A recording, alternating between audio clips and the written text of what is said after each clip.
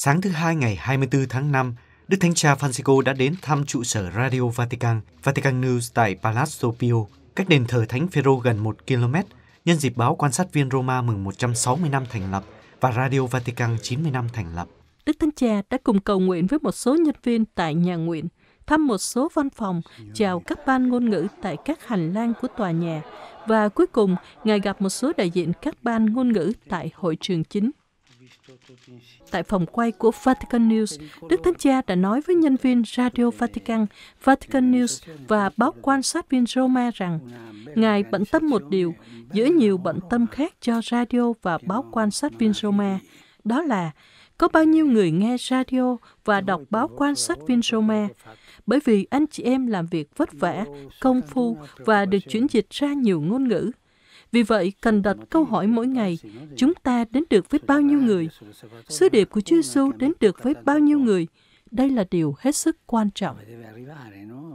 Sau khi tham quan văn phòng kỹ thuật, nơi sản xuất video và hình ảnh, Đức Thánh Cha đến hội trường chính của Vatican News, nơi thường diễn ra các buổi họp báo và gặp đại diện các ban ngôn ngữ.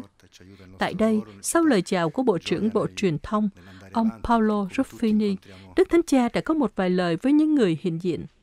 Ngài nói, Tôi đã tham quan và thấy tòa nhà được sắp xếp rất hệ thống.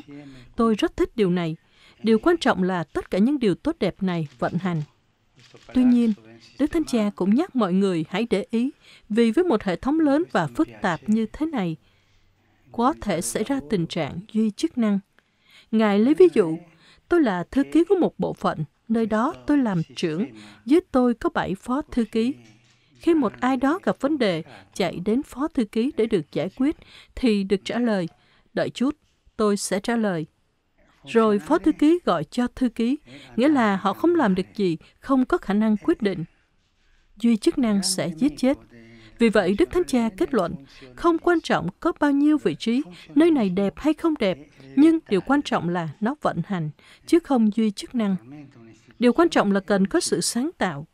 Cấu trúc phải giúp cho mỗi người có đủ tự do để thực hiện chức năng của mình, cho họ có khả năng mạo hiểm, chứ không phải lúc nào cũng xin phép, xin phép. Điều này làm tê liệt. Đức Thánh Cha đã kết thúc buổi nói chuyện, chào mọi người và lên xe trở lại Vatican sau khoảng một giờ thăm trụ sở.